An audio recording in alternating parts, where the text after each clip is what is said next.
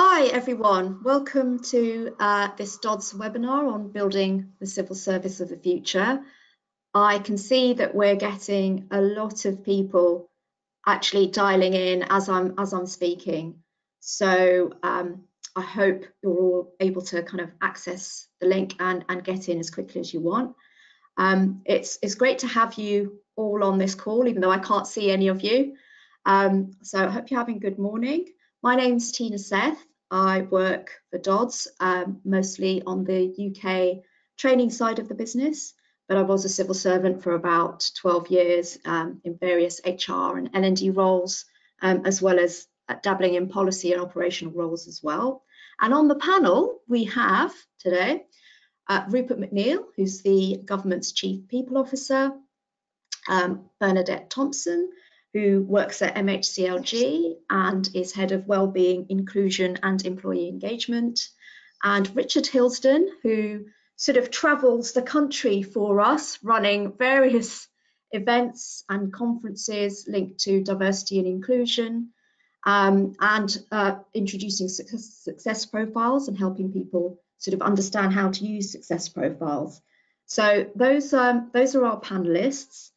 And um, the, the theme today, which there has been a lot of interest in when we advertise this, this webinar, um, and I, I've thought that is probably because of all the kind of interest in the civil service workforce of the future. There's a bit of a spotlight on this topic. We've heard Michael Gove speak about the need to diversify that the pool from which we're selecting people, the need for different skills, specialist skills, uh, we've heard a bit from number 10 and Dominic Cummings about how, how he feels about the right people who should be in, in government. So it's a very, very topical issue.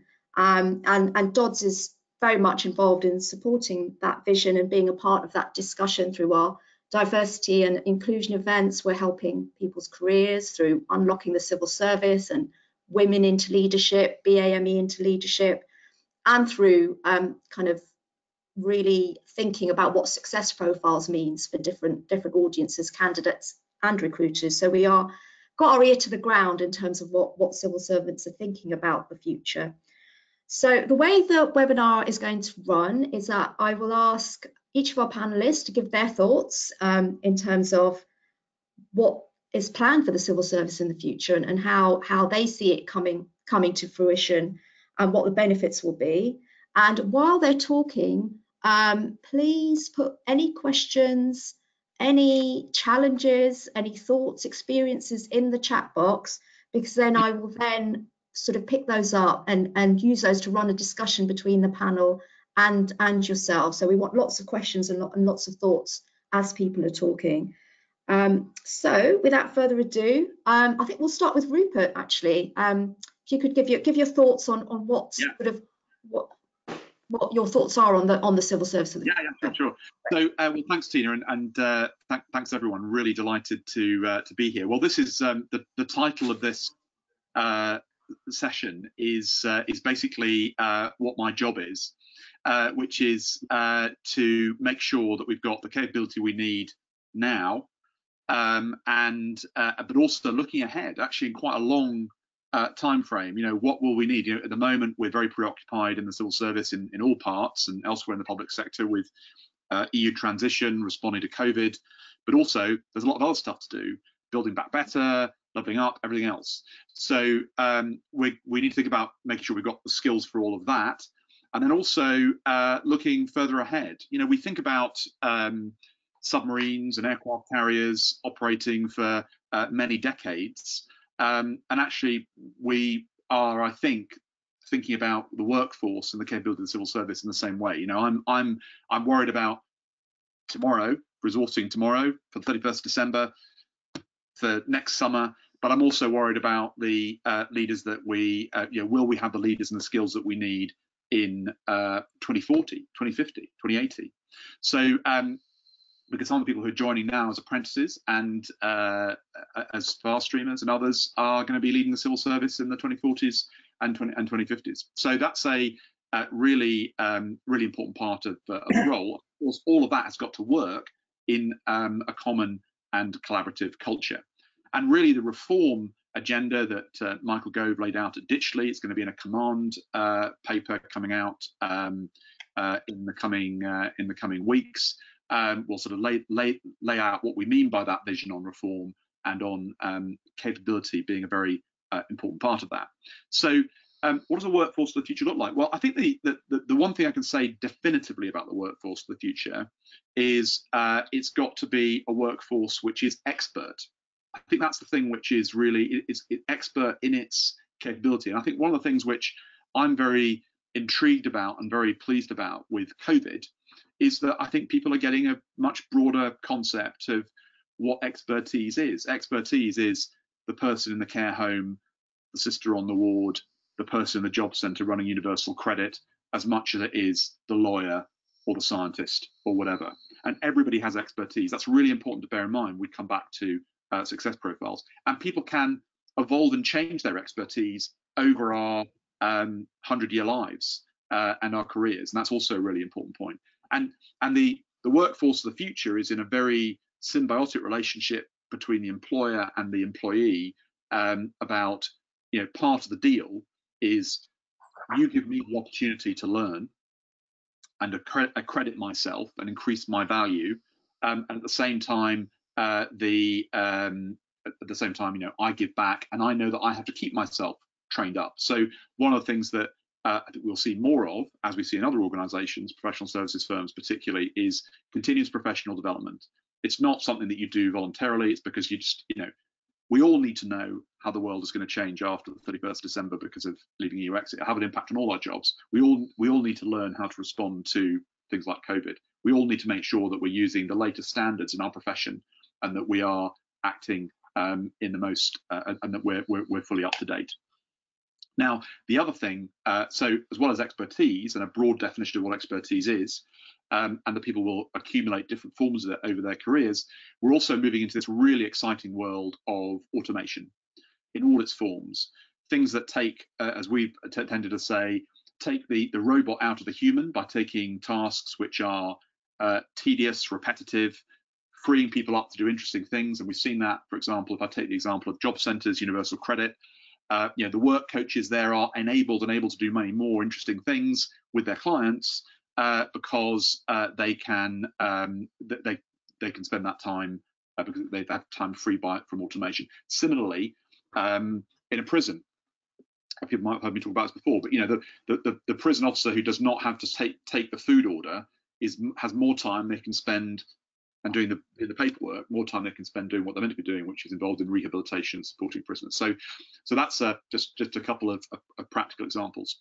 So, um, uh, and the strengths and gaps in leaders are basically you need leaders who build the expertise of their teams, who build the capability of their teams. That is a fundament and and makes it a good place to work. That's the fundamental thing. That's actually quite a high skilled job in itself. Um, we don't want leaders who do the jobs that their team members do. That's not what this is about. It's about brigading the systems that they're running and their parts of the systems that they're running um, and um, making that uh, making that effective.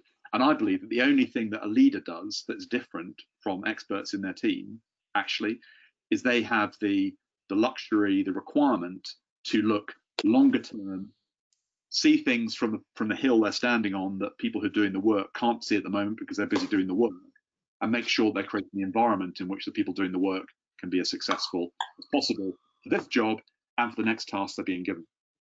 Now, success profiles are a really hugely important part of this, and uh, it's so great that we're talking about that today because uh, they do several things. First of all, they require people in their system, the hiring manager and the people running the system, to think really carefully about um, what they actually need, what skills they actually need in their in their organisation. What are the activities that people need to perform in their jobs? Um, and there's, a, there's, an interesting question about the maturity of thinking about jobs because um, the, the unskilled manager says, I want person X in that job. The more skilled manager says, I want a person like person X in that job. Um, the truly skilled manager says, I have these sets of activities that need to be done. How do I configure them into which are um, going to be filled by the best possible person? And that's what we're trying to get to. Now, um, the uh, the way in which we're um, we're looking at success profiles and at it's actually they should be making it easier for people to be promoted who have the right capability and skills. um, they should make it easier for us to be very precise about the essential criteria of a job. And uh, as we get used to success profiles and thinking about them, um, there's got to be, you know, all of us on this call need to be looking at job descriptions, at success profiles, and saying, actually, is that really an essential criterion, or am I ruling out a whole load of great people? Take an example. Does a job really require uh, a degree? No, most jobs don't. In fact, probably every job doesn't, as long as the person's got the experience that is associated with it. The degree is a proxy for um, saying that someone's got a particular skill set. So being precise about the about the criteria becomes very uh, becomes very important, and not over specifying, but also setting quite a high bar um, in terms of behaviour strengths and technical uh, technical expertise. Some people might know I did a um, I uh, decided that I wanted to be an accountant after 30 years, and uh, I, have just qualified. Um, and uh, that's good. There are jobs that I could do now that I couldn't have done without that qualification. So uh, you know, thinking about that and looking at the market around that is very uh, is very important.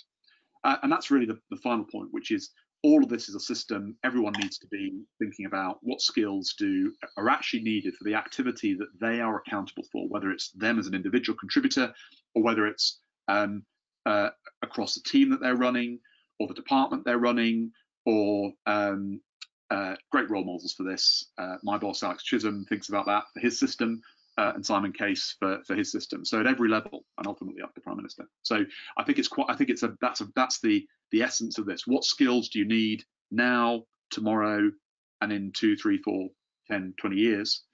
Um, and the more senior you are in the organisation, the longer you should really be thinking about that uh, about that time frame.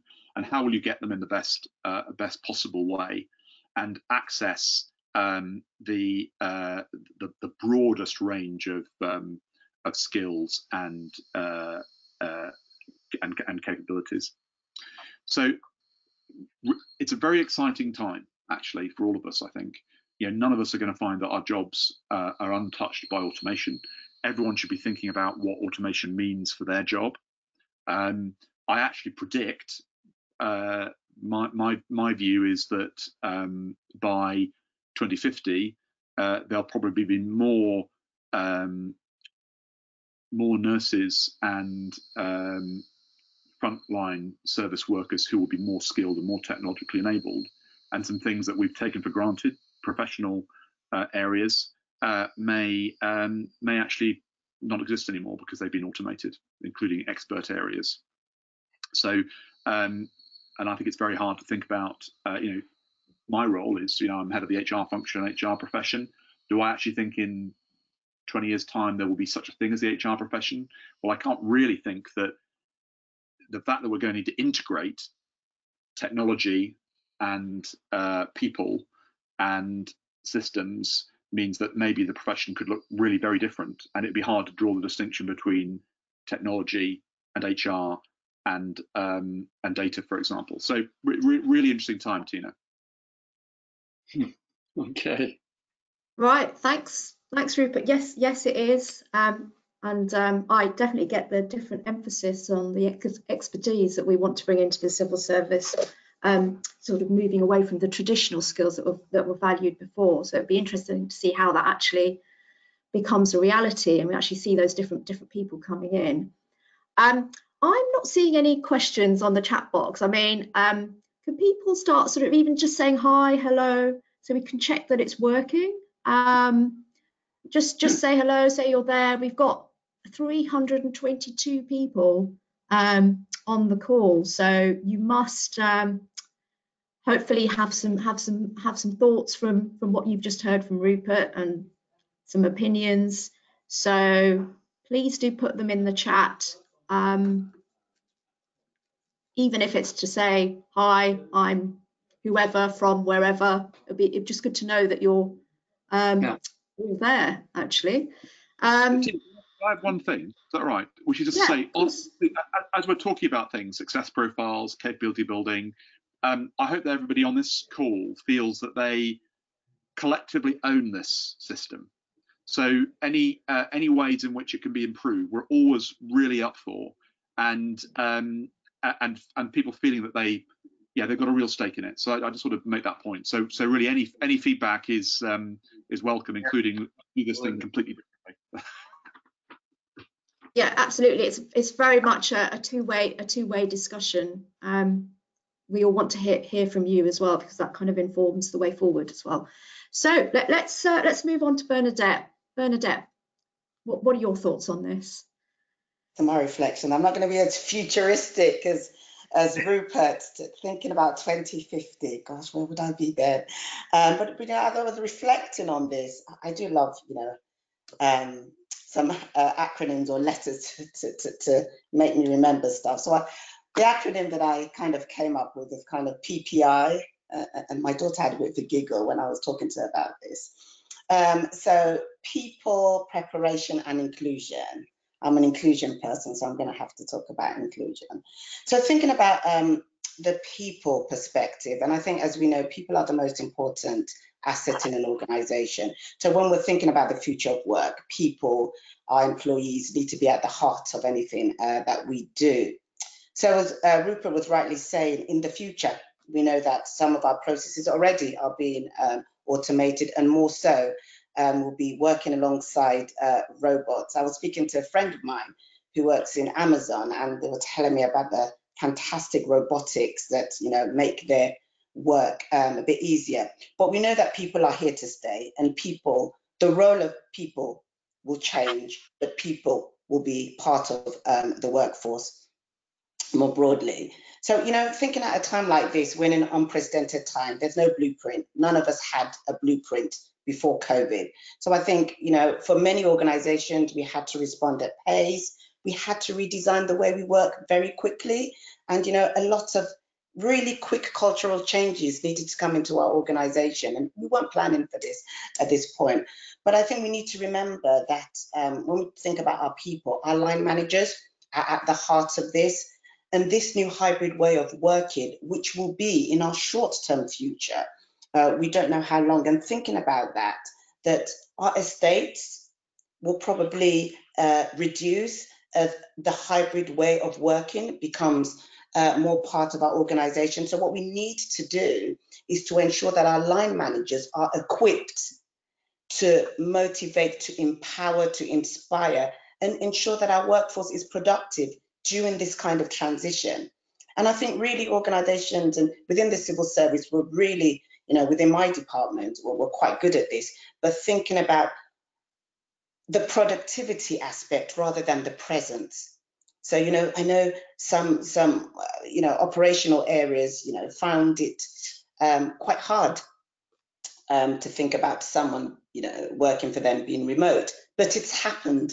And, you know, we've had to deal with that quite quickly, but making sure that as, as we progress on this journey, not knowing what the next 12 or 18 months could look like with the virus, really thinking about how we uh, uh, um, equip our line managers to manage remotely and get the best um, out of our organization. And I think um, the other aspect, my, you know, thinking about my reflections on people is around well-being. And I think we're putting a lot of emphasis now, and rightly so, and organizations must invest in the well-being of their people. Um, you know, this isn't just, you know, you're doing a tough job. It might be tough at work, but it's tough at home too. All of us, I dare say, have been affected one way or the other by this pandemic. So putting well-being at the heart of what we do and making sure we have robust offers, um, a robust package of well-being for our employees is key. And you know, we're, we're, we're doing quite well with that within the civil service. Um, but thinking about an inclusive approach to well-being and just making sure that you know uh, people's circumstance you know it's not one hat fits all. We really think about what offer um, our employees need to keep well physically not just mentally well but also physically well. Thinking about you know home is work and work is home and you sit at your desk at eight o'clock and you know you know thinking about myself i would need to scurry around different departments usually um, but now I, am quite sedentary um, at, at, at, my workstation. So really thinking in an organization of how you can keep your people safe as well as we progress into that somewhat, I dare say, unknown future. So going to the next P, which is around preparation. And I was looking at some articles, so looking at Deloitte, looking at PwC and EY, and they've got some fantastic papers about the future of work. However, a lot of these were written before COVID. So some of the content might need to change slightly. so thinking about how we prepare um, with COVID now inside, and Rupert has touched on this uh, really brilliantly, thinking about the capabilities. So in my department, so we're thinking about the new roles that didn't exist um, prior to COVID-19. Um, thinking in my directorate, we had to quickly stand up shielding and, you know, we were the department that made sure those boxes um, got delivered. So these roles didn't exist before COVID, but we really had to quite quickly build people's capabilities and set up a whole unit to deal with that. And think about the existing roles um, that we have now, but thinking about as we are entering or have entered already in the second wave, how some of those roles need to be changed. And Rupert mentioned this as well, um, upskilling people's digital capability. And, you know, I was speaking to someone in our age network, um, our 50 plus network the other day, and I said, who said 50 plus people can't be techie? I dare say, you know. So it's really making sure that everyone across our organization is upskilled and can make good use of the digital uh, tools that we need, we definitely need to um, connect and collaborate across the organizations. Um, you know, it's fantastic that we you know we're all virtual now. We, we wouldn't have thought that we could have done that. And at a time where our colleagues in Newcastle, in the West Midlands, you know, we can all be on what platform without having to travel. So I think thinking about the future, um, corporate travel would definitely dwindle because look, we've been doing brilliantly, brilliant things uh, within the virtual space. And I think um, just at the back of one of Rupert's comments earlier on, um, the civil service was shaping the future. There's a document out there. So if you Google shaping the future civil service, read the document, comment on the document. You know, we want everyone to be involved in helping us um, to shape the future of the civil service. And my final reflection on inclusion, and I have to um, mention inclusion, but it is worth a listen or worth a read if you haven't uh, to Michael Gove's Ditchley speech. Um, so I pulled out and went in there, went to the parts that he uh, specifically mentioned on diversity and inclusion. So really bringing together all the elements of diversity and inclusion. Um, so thinking about, you know, we spend, we pay a lot of emphasis on the diversity of our people, so our workforce diversity, but thinking about the place um, in where we make those decisions and uh, the perspective and making sure that our policies are um, diverse. And quoting from Michael Gove, he said, delivery on the ground, making a difference in the community. And that is how, with our civil service, making sure our outputs land well within the communities that we serve.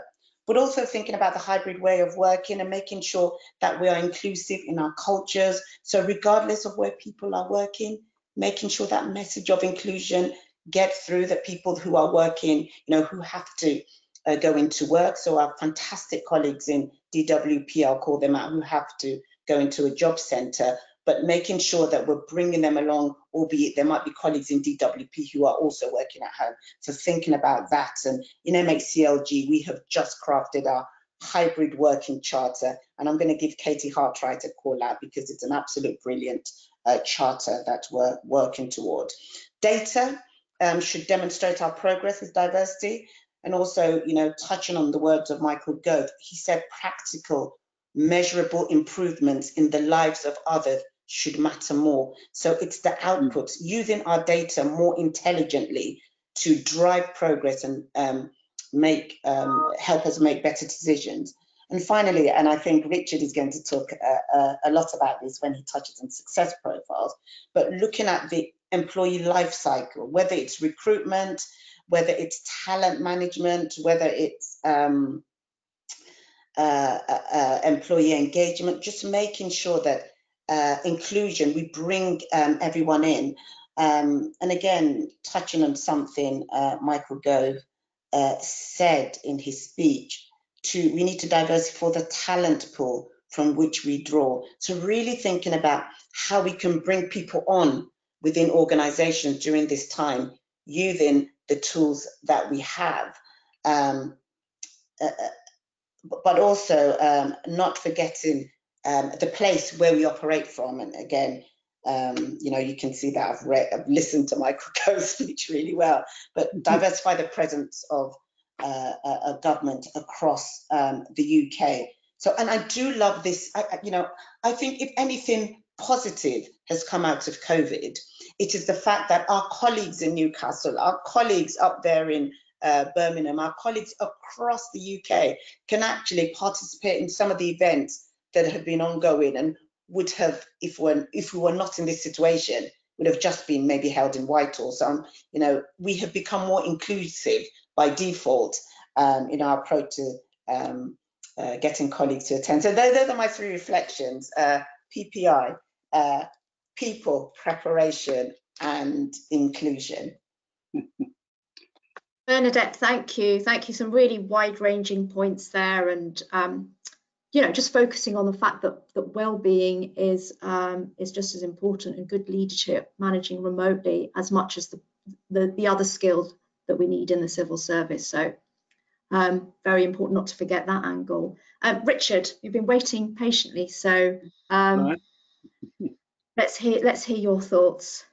Okay, thank you very much. Well, welcome everyone. Um, my role is rather different, I think, in some respects, because uh, both uh, uh, Rupert and Bernadette have reminded us of, of where where we probably need to go, and you know, Michael Gove has set out something of that thinking, and and uh, uh, Rupert's talked about uh, thinking carefully about criteria and so on. And I think that's where I'll be coming from, and I think.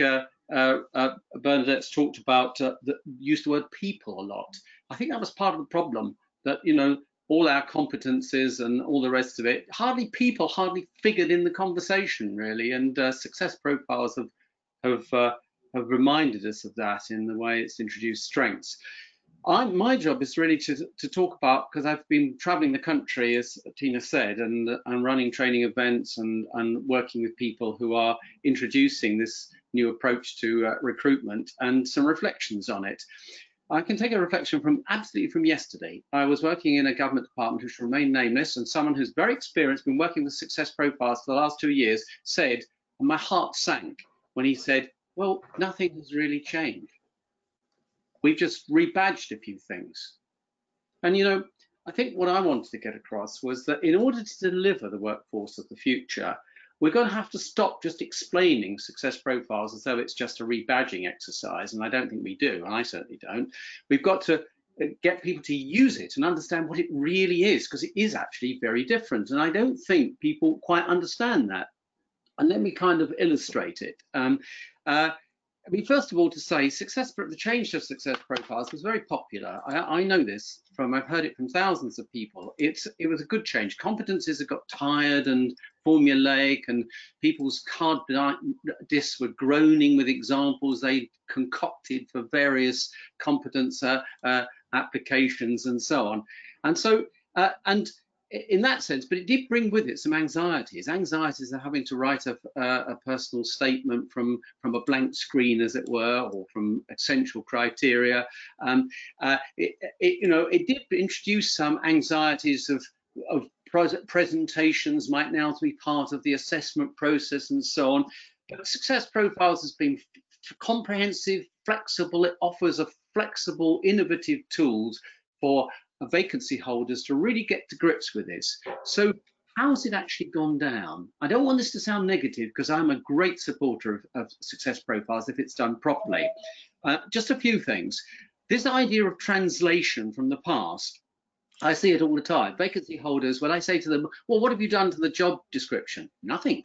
They've taken the job description and just turned it into behaviors. Um, um, so that's not really been happening on, on, a scale as I would like to see. Too much translation going around. Um, uh, defining the job in terms of actually have we um, gone to first principles in terms of what the job is about. And I think that's what you were talking about, and Rupert. We have to get back to what is this job all about? What do we want people to do?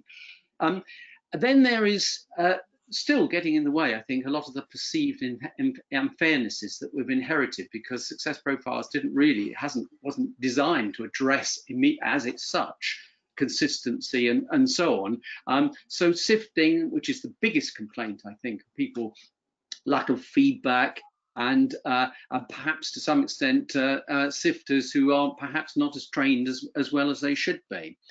I also want to finger adverts as well. One of the things that, that is very clear, I have in my in my uh, uh, computer a, a, an advert from earlier this year, which still using the word competencies. Now we've got to stop doing that.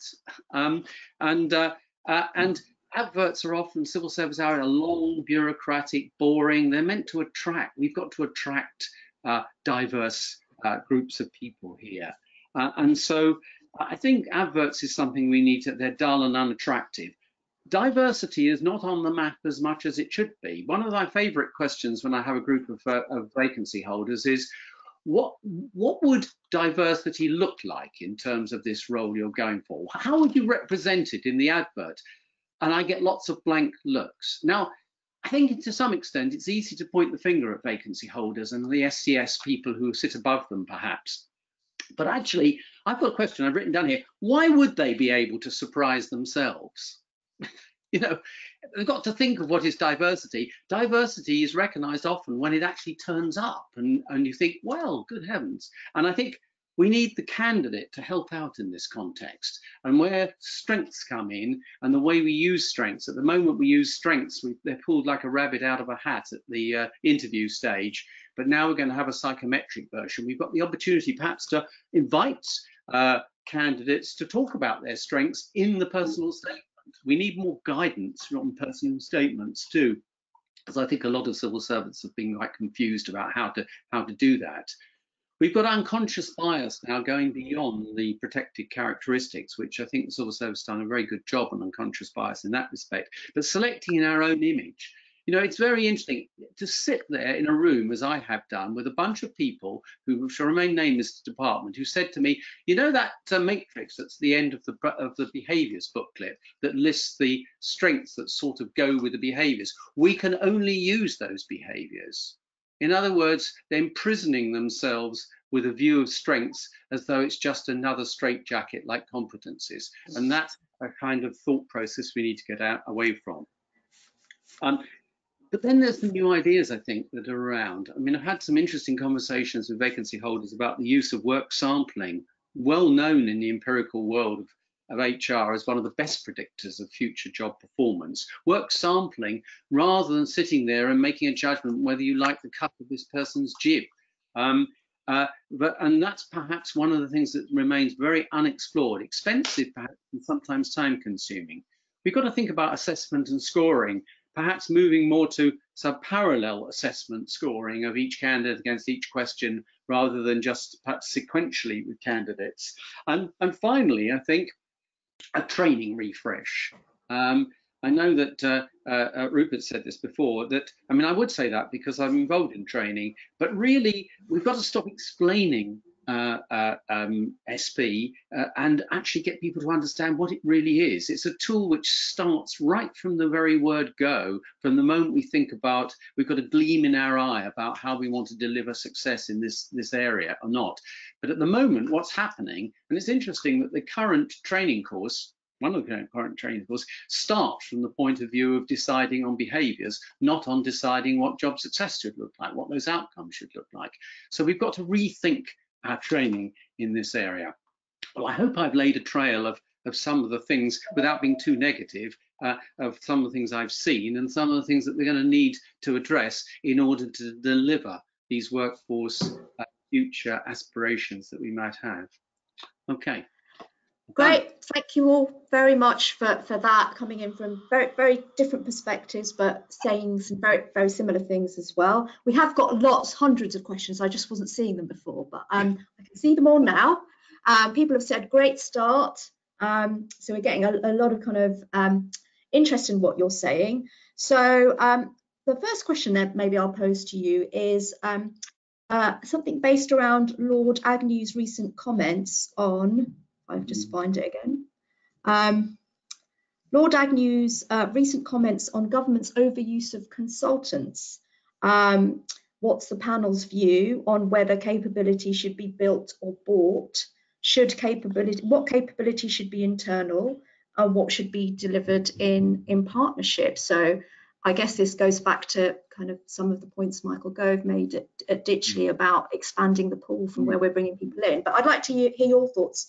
Rupert, would you like to would you like to come in on that one? Yeah, yeah, sure. So, um, so f- first of all, let me say say something about Lord Agnew.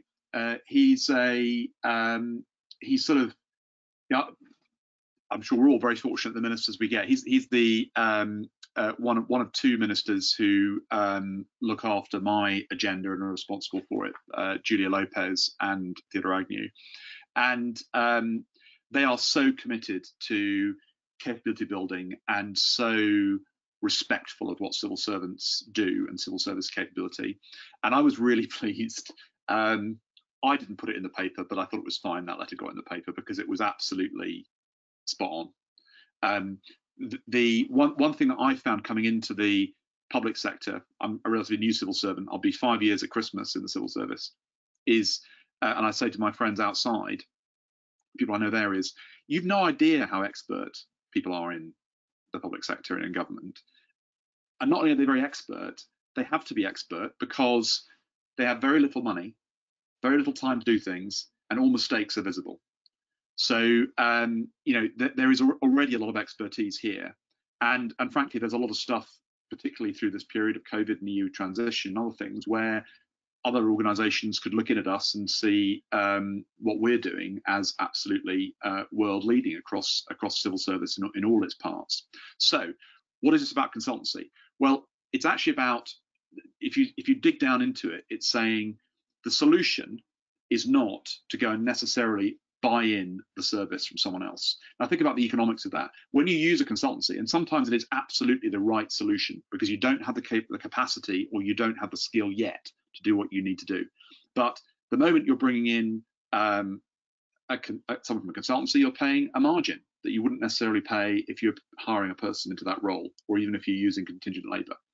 And and also um, using external expertise like that is like uh, chewing gum. It has no nutritional value, so you don't keep those skills in the organisation after you've uh, after you've used them.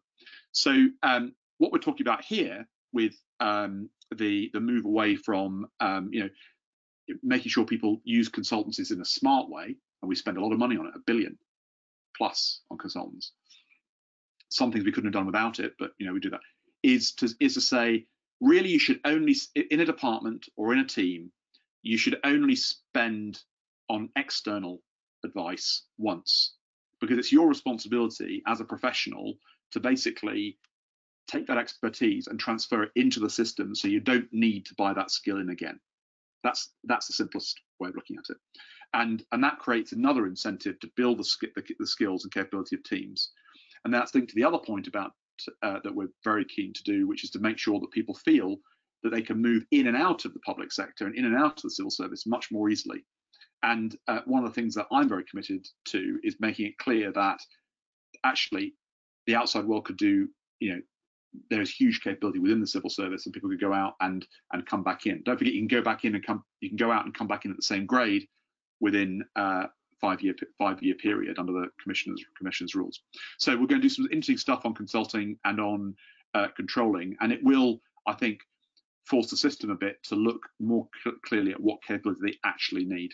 Sorry long answer tina. I'll keep them shorter next time No, that's great. That's great. I think there's been a lot of interest in in that particular area, which is why I asked it. So, um, so that's fine. Um, there's there's another question. I'm going to link two sort of themes together. Someone's asked about qualifications and um, technical qualifications, academic qualifications, etc., um, and and feels that maybe are they're not um, required anymore because uh, Rupert, you've talked about expertise that people develop in their in their role. So, so what's your sort of take on qualifications? I think that links to success profiles as well.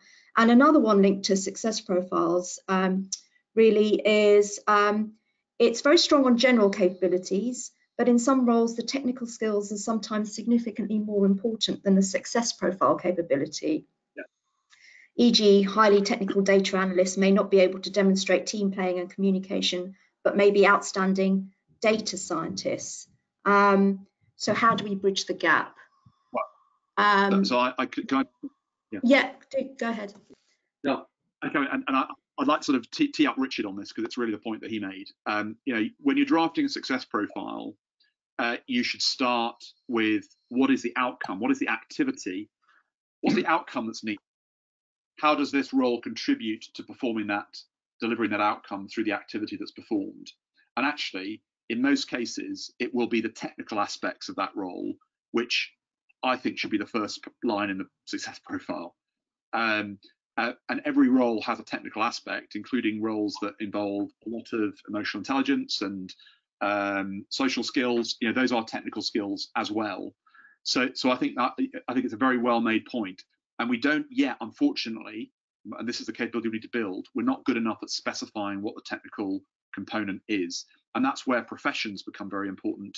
And um, for example, in HR, we've we've been very clear do do go and have a look at it if you want to see what we think good success profiles look like in HR. Every director role in the HR profession, every deputy director role, and now and going down into the system um, has um, a success profile and is part of a career framework. So you can see what technical skills are actually um, are actually required, and that's been developed with people at all levels in the function thinking about that, and it will evolve. So I think it's a very good point. And then the other point is about accreditation. I mean, if I, um, I think that one of the great innovations in UK capability and education over the past sort of 20 years has been um, experiential assessment. So this is where uh, you might have to sit an exam or not, but your experience will be assessed sometimes through a work sample, as Richard's alluded to, or uh, through an interview process. Um, and I'd really encourage everybody to try and look at their profession and see how they would. There is accreditation available. Go and ask for it and try and try and get it. And that's what we're doing in in HR with the CIPD. Um, similar uh, similar things exist elsewhere. And, and actually, just a, a, a, quick thing in terms of the practicalities of this. Um, when you want to think about what, one thing to do is to start with drafting your own success profile. I've done that, and it's a really interesting exercise. How do you what do you contribute to the purpose and strategy of the organization that you're in and your activity can you express your job in um, you know 200 words using the strengths dictionary using what you know about the technical requirements. And then look at the people in your team and say who is the person i could least afford to lose? Because that's probably the person that you need to develop to go on and do their next role. And what would you draft their success profile? And then start thinking about who in your team or who elsewhere in the system um, or which apprentice or whatever would be the person that could take that job. So, so I think to, to Richard's point, um, you know, this is a this is a participatory thing. You've got to get into it, get your hands into it, and start working with it and and practicing with it. And um, underpinning all of that is that still after 30 years, interviewing and selecting people is the hardest, highest stakes thing that I do. It's really hard.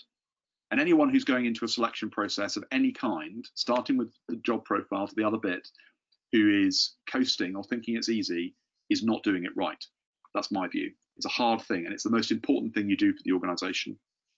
I don't know if Richard wants to add on the success well, profile. I just want to add a couple of because you've mentioned about uh, uh, people thinking about pro doing their own profile. And I think this is really important. You know, we've got two elements of the success profile system, experience and technical, and they very often go hand in hand. Just because, as, I think it was the major project office once said, just because someone's got a, a, a Prince 2 qualification in project management doesn't mean to say they can run a project. And we very often have to to invite experience and examine it and score it as part of the process. Um, and, uh, you know, application forms are, again, an area, I've talked about adverts that need to be developed. Uh, why can't we have application forms which actually are, invite people to put down uh, what they regard as their strengths and achievements you know some self uh, uh, self profiling of themselves and people's cvs i've recommended for a long time that people have a summary of their career experience and achievements or behaviors and strengths in modern language and that they are what they're offering the market. But too often uh, we've been stuck on chronological cvs rather than what i would call behavior based cvs uh, and the other thing i'd say is that uh, I always thought it odd that amongst essential criteria, we haven't considered the possibility of inviting people to have a, prioritized essential criteria we have often lead behaviours, but we haven't taken that process far enough so that if we've got a technical specialist, we want that to be there in highlights in the actual advert at the start. Okay. Bernadette, I wonder if you had any thoughts about this question on um, technical qualifications and um, how how they're assessed through success profiles, or bringing in your own experience as well. So, so my, my, my thoughts on this, I think, you know, clearly there are roles that need technical qualifications, absolutely. And I think they, they should be part of the essential criteria.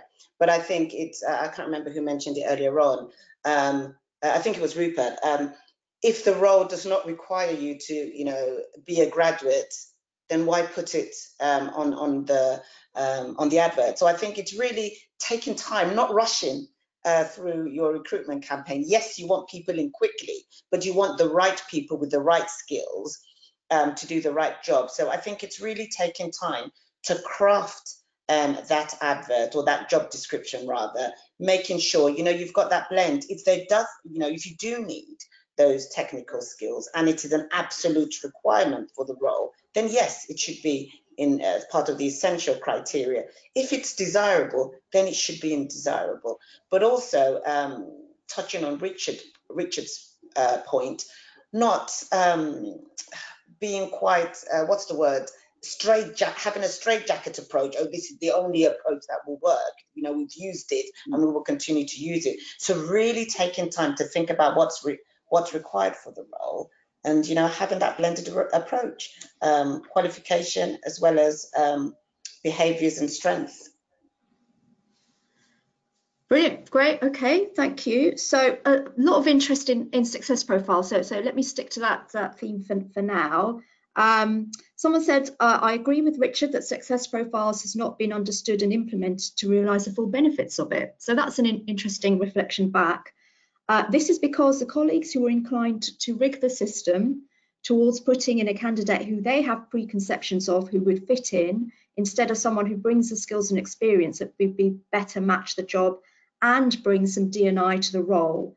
Um, now, rig the system is a is a pretty kind of um, emotive thing to, to put to put in there, but sometimes this is the perception that people people have about why diversity is not as wide as it should be in the civil service. So I'd be really interested to get your get your thoughts on that one. Maybe starting starting with Bernadette this time. So I think um, all our processes 100% watertight. I would say no. So there is still some work to be done. Um, my, my point on this, however, is I, I would like, like to get to a point where, you know, people who have gone through a process can give us feedback um, uh, uh, so that we can understand better what uh, some of what this colleague has raised.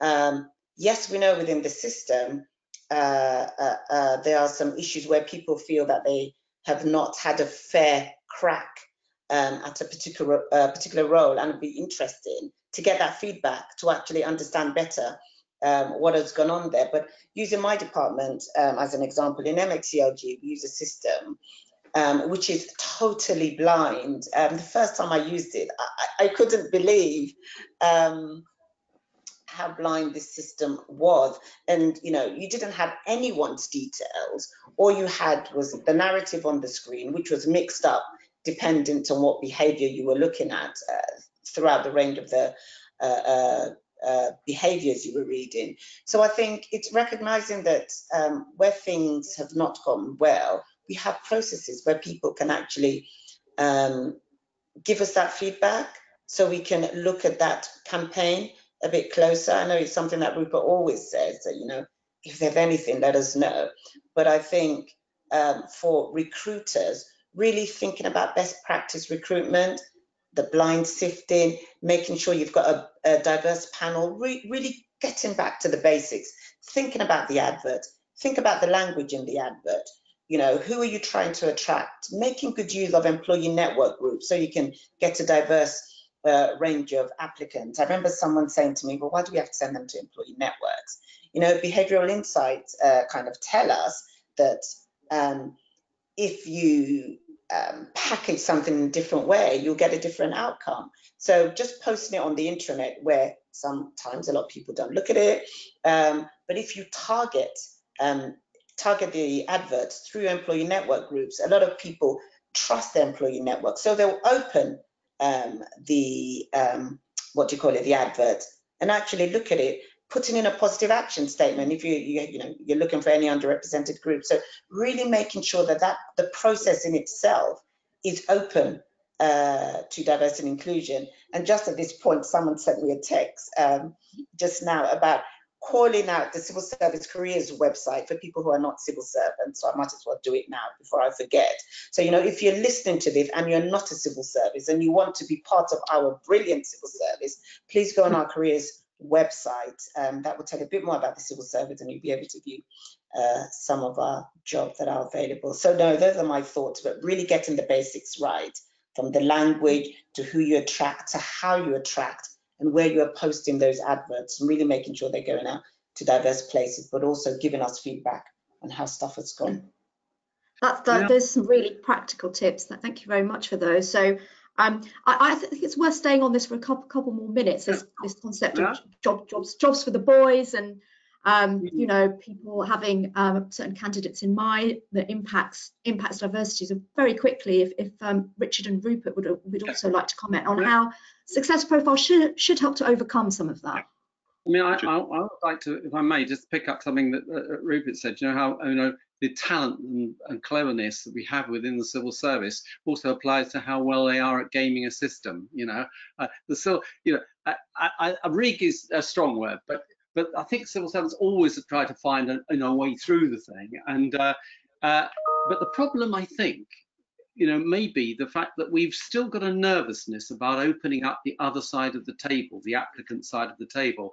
I, I know this because one of the most frequent things I hear people say is the whole question of personal statements is crowd, you know, clouded in some mystery. You know, the guidance is a bit unclear. What people say to me, why can't I put my strengths in there? Why am I asked only to address three or four behaviors or six essential criteria?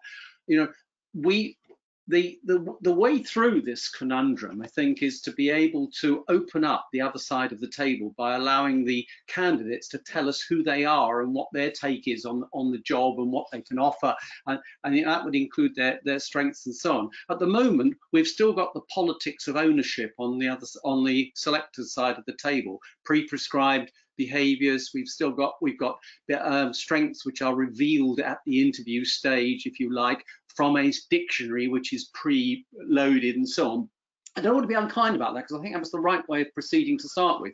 But in order to achieve the kind of vision that Rupert's talking about, I think we're going to have to let the, the, the candidates off the leash a bit. We're still keeping a structure because we know that structured interviews is the way to have better prediction of, of subsequent job performance. But we are being too uh, conservative about that, the small c, I think and, and just to uh, to build on what Bernadette and, and Richard said, I, I think that empower this is this is this should be empowering for candidates, internal, external, um, people who aren't in that team. You know, it, it, it should be a very empowering process. And look, I think competences were, you know, whether rigged is the right word, that they were um, people had got very adept at um, using them, and it, and it favoured people who um, were good at doing that, uh, and it was uh, blocking um, ways of recognising the full potential of people who um, uh, who had uh, great uh, great expertise and great and, and great uh, stuff to offer. So, as a candidate, if you if you see an ad um, and you say and you believe that actually it should it, it, the essential criteria were over specified or if you go through an interview process and you feel that that's not being done in the right way you please do you know email or call me or uh, you know that's or the head of profession in your department uh, and uh, or your HR director or tell your staff network or whatever because that, that's that's how this will improve.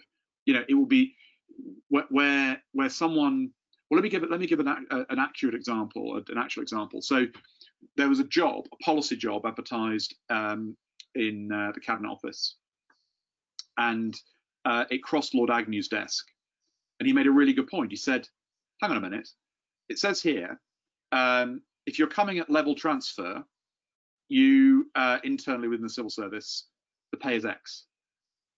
Uh, if you come in on promotion, it's percentage of X, standard practice.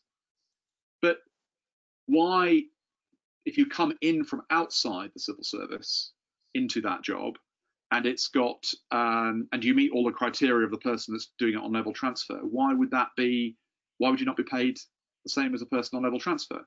It's a really sensible question. And it's a, and it's what it actually comes down to is level transfer was being used as a, you know, an, uned, an uned, uneducated way of describing the capability that was required for the role. If that had been expressed in essential criteria based on experience and technical skill, it wouldn't have been. Um, it, it, would have been more open, and um, and it would have been uh, a, a, better way of doing it in line with how we do success profiles. So that's what we went back with, and it got changed.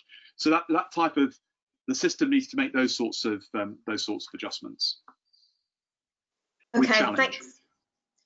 Brilliant, thank you so much. I do realise we've sort of got five minutes left, and and people are. Um, you know, ironically getting very warmed up now at this point in the webinar and loads and loads of comments are coming through. So Barney says, uh, Bernie, uh, absolutely right. Why demand written qualifications without seeking those with life skills and experience? Um, Sally Martin saying, excellent, listening to this, would love to be more involved. Lots of people asking if this webinar will be um, available again.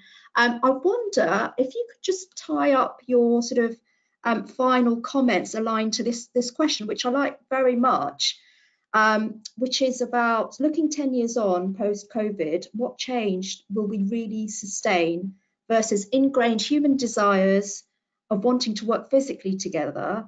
Will it be an inclusive hybrid model? Everyone changes their work pattern or a divisive one. Some people return to go to work as normal, others work mostly from home. And I think that touches on a lot of what but Bernadette, you said at the start about leading remotely, but is that going to be end up being divisive in some way in terms of who stays at home and, and, and, and who works in the office? So final thoughts, maybe just to, to wrap up on that and, and anything else you, you would like to add, because we're pretty much coming up to the close. Um, Bernadette, would you? Oh, Rupert, go ahead. No, no, Bernadette, Bernadette, Bernadette, I'll, I'll Bernadette. Ladies first. okay, yeah. my thoughts on this.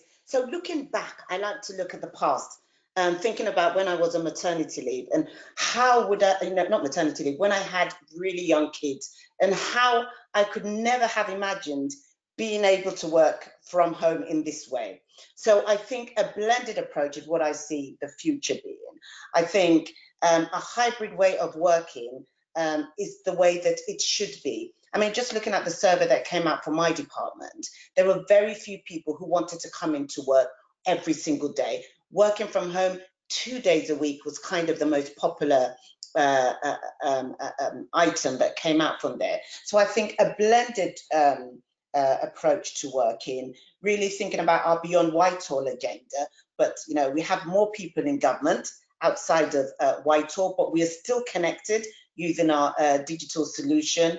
We've really thought about, um, got, gotten better with the diversity of our workforce, uh, thinking about the most underrepresented groups. So I think that the future is definitely hopeful. Um, you know, looking at that, the past and looking at where we are now, um, I don't think I could have dreamed being able to uh, uh, uh work from home. It's so easy to, to do my childcare right now in, in this space, but I do pop into work because I'm quite sedentary. So being able to have that blended approach and get the most out of our people is my uh, thoughts on the future. Thank you. Um, Rupert, final thoughts? Uh, so I, um, I think it's a great way to look at it. What, what would we like our workplaces to be? Um, I agree with everything that Bernadette said. I mean, I, I have a vision that no one should have to move more that no one should have to go more than a mile to mm. where they work, and they should be able to walk to it.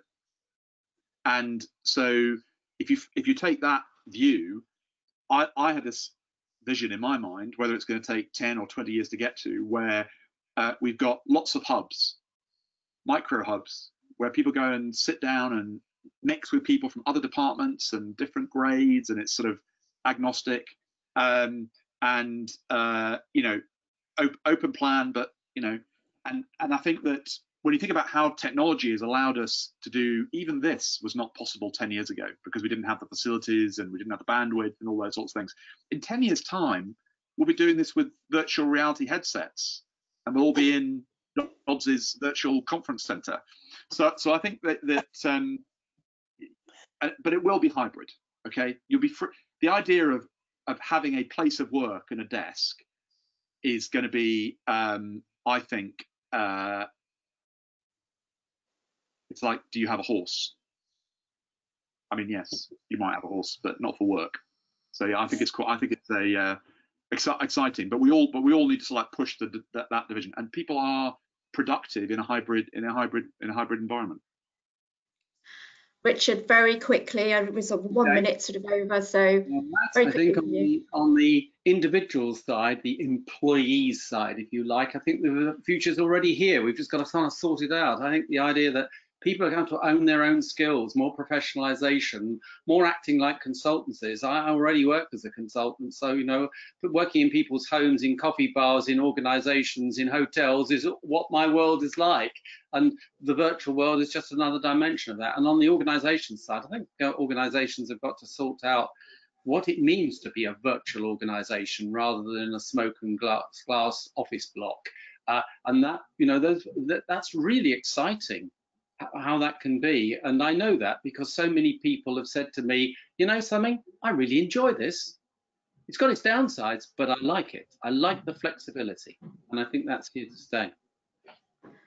Okay, brilliant. Th thank, thank you all for that. Um, everyone on the call, we will be sending out a recording of this webinar because a lot of people are saying excellent points made. Can we rewatch? So yes, you, you can. You can have a recording of the webinar. I'm aware that we haven't got to a, a lot of the questions, so I wonder if we theme them up and send them round to the panelists. If you wouldn't mind, sort of yeah, coming back with some responses. Yeah, absolutely yeah that that would be good because some of them are very kind of involved and, and getting into the the meat of what you were saying um, and probably not long enough to deal with them here so we'll, we'll do that as well.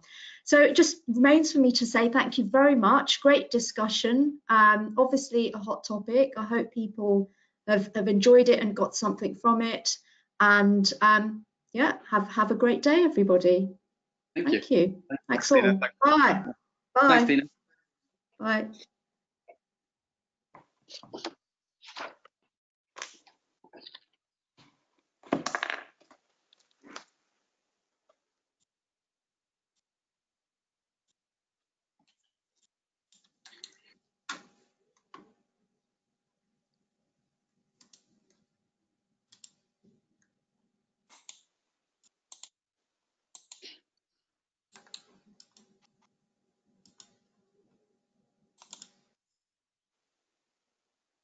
Okay.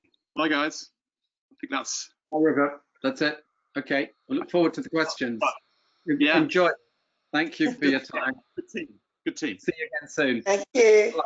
Bye. Bye.